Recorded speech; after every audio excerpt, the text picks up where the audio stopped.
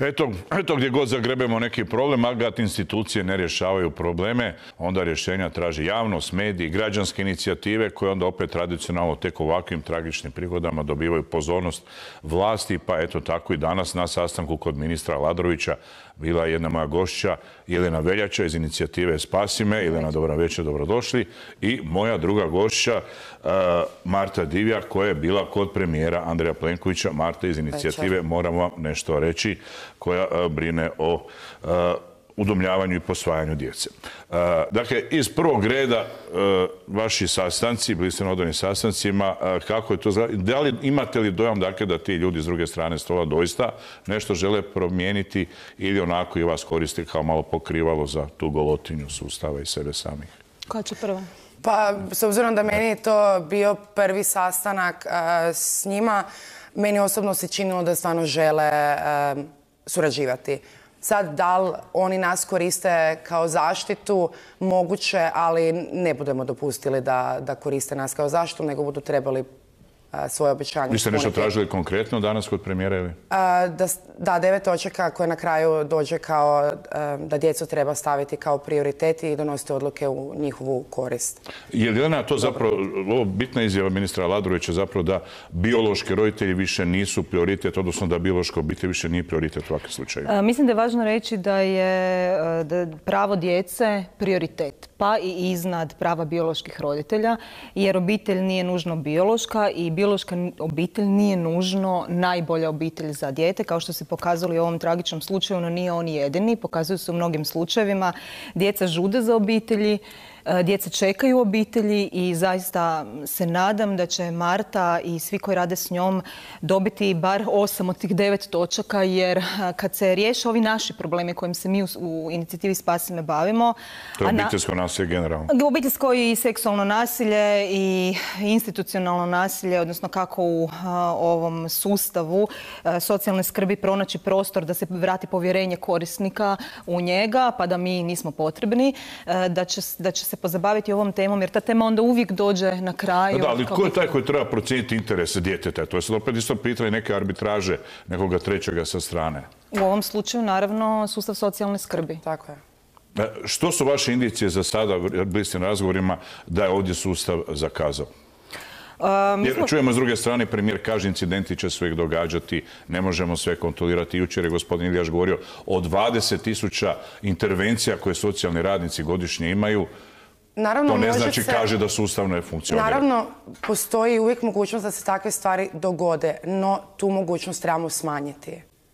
Zato jer da, ja bih rekla da u ovoj slučaju, ako pričamo baš o slučaju mm djevojčice koja je preminula, nažalost, e, za ovaj, ovaj vikend, da je sustav apsolutno zakazao. I mislim da... Gdje, na kojem, na e, Štititi e, pojedince koji su dali u stručnom timu ili kasnije u nadzoru ili čak samog ravnatelja, da sad više nema smisla. Nema smisla zašto? Zato što doista se stvara jedna atmosfera u kojoj inicijativa Spasi me ne želi sudjelovati, jer malo smo bile gurnute u nju, da su svi socijalni e, radnici loši. Je, je, vi ste zakuhali nešto ovaj, na svom Facebooku, nisam pa baš zakuhala, ovaj, e, Da, da, nisam baš zakuhala, ne bih se složila s tim, ali, ali sam svakako uh, podržala diskurs koji nije primjeren, pogotovo ne javnoj osobi koja se bavi ovakvom tematikom. Ja sam se to, kao što sigurno znate, i ispričala.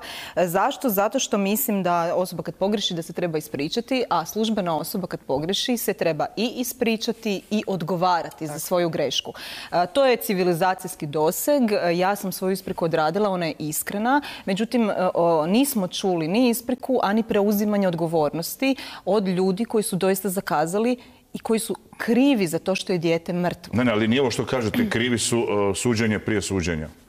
Mislim, čekamo da sad rezultati nekog nadzora... Mislim da nije sad, oni su krivi, kad gotovo krenemo, oni su krivi. Dijete je mrtvo.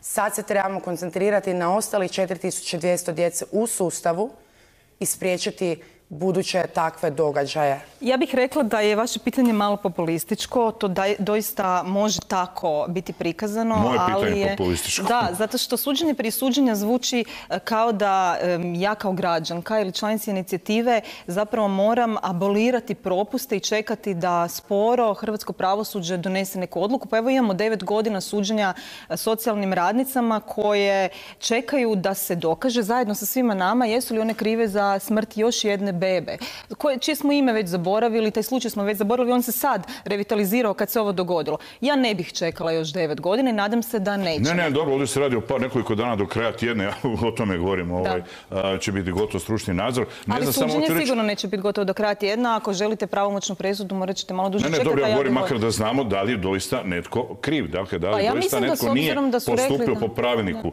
Može se lako dogoditi, ne znam, razumijem o čem vi govorite. A mi dalje imamo 4200 djece u sustavu. Mi dalje imamo 4200 u sustavu. Samo 200 djece godišnje se može posvojiti. To su problemi. Dalje. I koliki je problem taj nedostatak socijalnih radnika? I kakvi su ti socijalni radnici? Vi imate neka iskustva izravno s njima. Pa e, ima dobrih i loših. Isto kako u svakom poslu ima dobrih i loših ljudi i kako obavljaju posao. S tim da u ovom slučaju socijalni radnici imaju ogromnu odgovornost. Jedanput, dakle, roditelji napuste dijete svojom voljom i e, socijalni radnici su ti koji trebaju preuzeti odgovornost tog djeteta. Znači imaju duplu odgovornost, već ih je netko napustio, sad oni moraju brinuti o njima. Ima super e, socijalnih radnika. Ja sam pravi primjer i Tonka isto. Mene su spojili sa e, divnim ljudima, divnim pa, bračnim parom, mi smo postali obitelj. Ja sam produkt. Mhm. Postoje slučajevi poput ovog koje se dogodilo sa, sa djevojčicom. Postoji slučajevi iz 2013. iz 2010. iz 2019. iz 2013. kad je u Slavonskom brodu nakon smrti bebe otkriven novi skandal, pustili su starije dijete da podvodi svoje dvije mlađe, najavili su reformu zbog grubih propusta u radu, sve četiri socijalne radnice su dva put vraćane na posao unatoč izvanrednom otkazu. Da, da, zato sam ja i počeo razgovor s pitanjem da li vi vjerujete da će se sada i što je vama dokaz da će se nešto promijeniti. Oni kad god su rekli, natjerat ćemo ih da rade. Ja ću ih natjerat sa tokom da rade. komore ili predsjednica udruge socijalnih radnika rekla jučer i danas 700 700 radnika nedostaje u sustavu. Da li vi stvarno vjerujete da će sada vlada Aladrović Plenković zaposliti, vjerojatno ih i nema, by the way, na tržištu? Ima, pa da, Ima. ima. Ima socijalnih radnika koji završavaju i završili su fakultete. Kvalitetni mladi koji nam se i nama javljaju inicijativu i žele pomoći. Njima je sad jako teško zbog ove situacije koja se dogodila jer napadaju socijalne radnike. Ne, budite primjer onima koji su loši. Ima, ima, ima ljudi.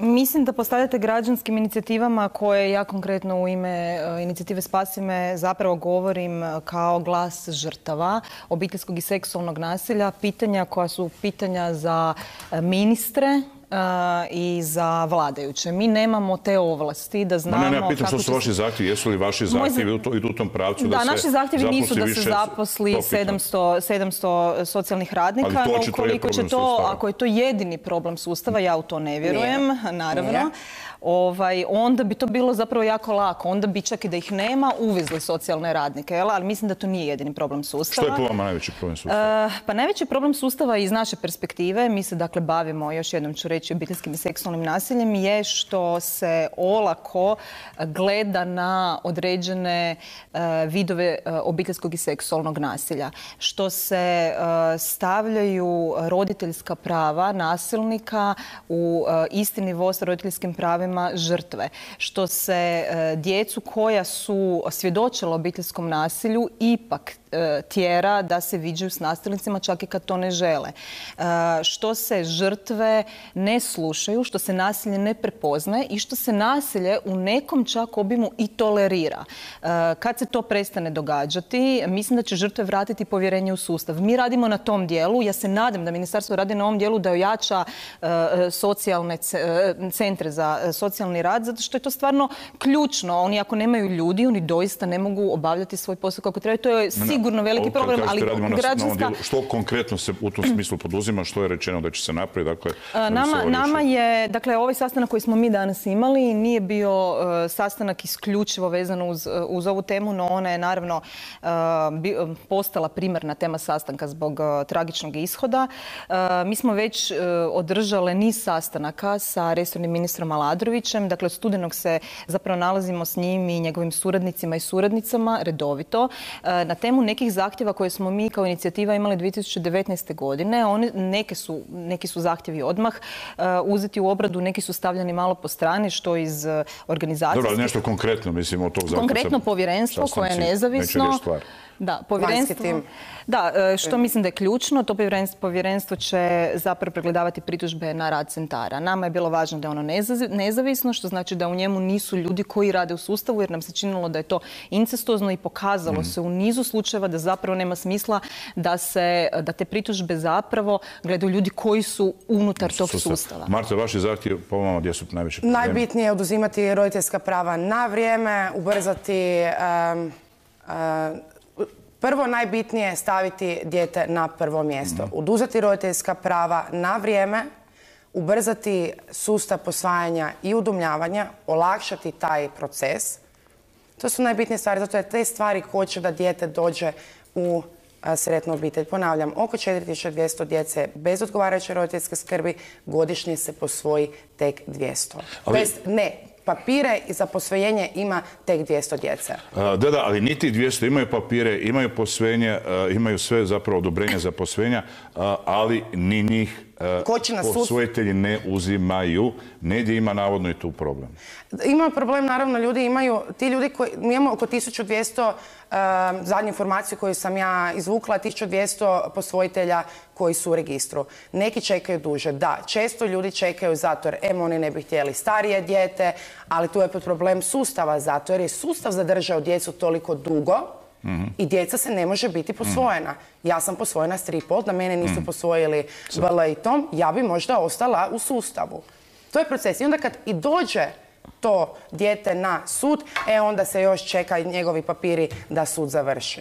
Dobro, nadam se da idući put ćemo se onda sresti bez ovakvih tragedija, nego sa nekim rješenjima problema. Hvala.